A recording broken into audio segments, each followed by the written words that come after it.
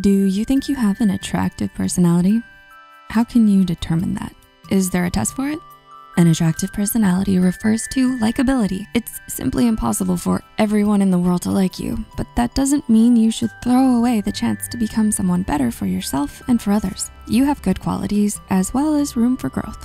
But if you wanna build an attractive personality, where should you start? We have six tips in store for you to build an attractive personality according to science. Number one, adopt a less talk, more action mindset. Are you the type of person who complains a lot? Venting is fine. According to Angela Grice, a speech language pathologist, venting can help us gain perspective and put words to our feelings.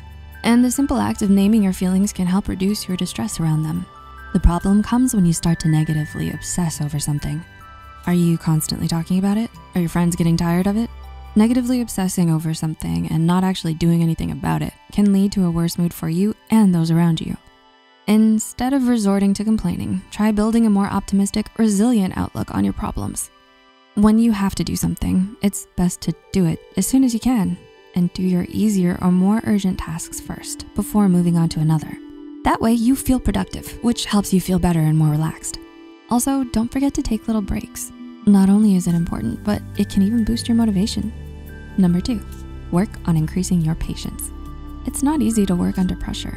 When you're tired, irritated, or anxious, it's more difficult to get things done.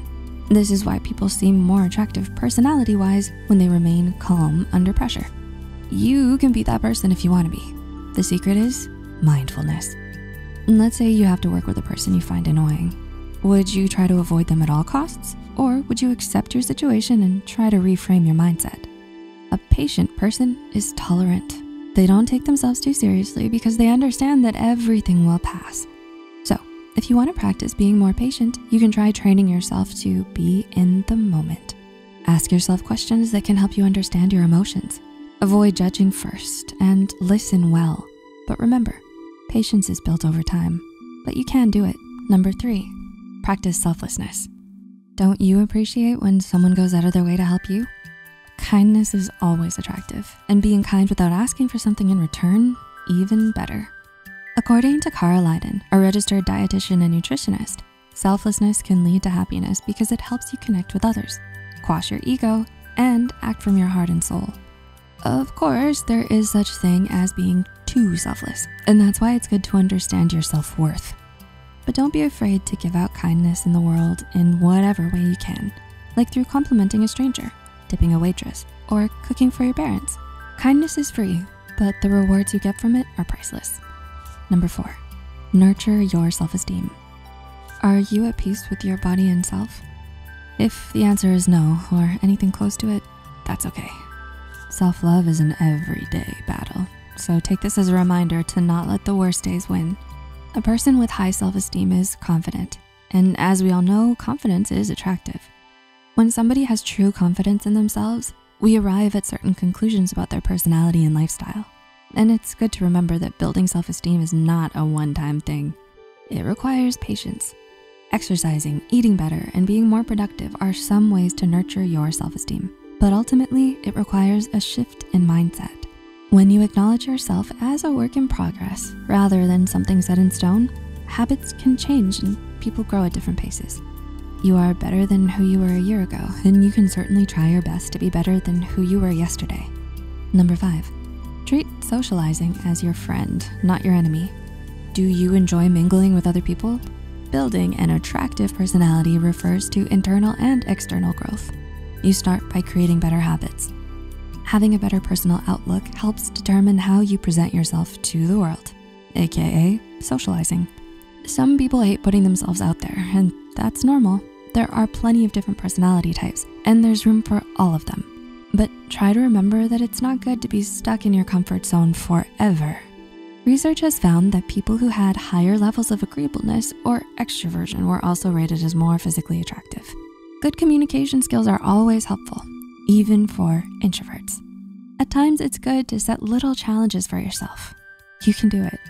And number six, train yourself to look on the bright side. Never underestimate the power of an optimistic outlook. According to Dr. Medina, an affiliate professor of bioengineering at the University of Washington School of Medicine, Optimism not only reduces stress, but it also promotes the production of the neurotransmitter dopamine. As you may know, dopamine makes you feel good. It increases your motivation and focus. You become more productive and start to see the better side of things, which people find attractive. When you're optimistic, you tend to bring people up, not dampen their mood. But it's not always easy being optimistic, especially if you haven't gotten used to that glass half full mindset. And that's okay. Being optimistic takes time, and you can take it step by step. A simple trick that you can do right now is putting on your positive lens. Did anything happen today that put your mood down the drain? It may have been difficult, but did you gain something from that experience? What made you smile or feel better afterwards? This is called positive reframing, and this method of thinking can help you train your brain to become more optimistic, both in the short and long term. And lastly, be gentle with yourself. You are unique and important, and that in itself makes you attractive. Do you consider yourself someone with an attractive personality? If it doesn't feel like you're quite there yet, which points do you think you could work on? There are plenty of benefits to being optimistic, and if you wanna learn more about that, comment below. And if you like this video, remember to share it with friends. As always, the references and studies used are in the description below. Until next time, thanks for watching.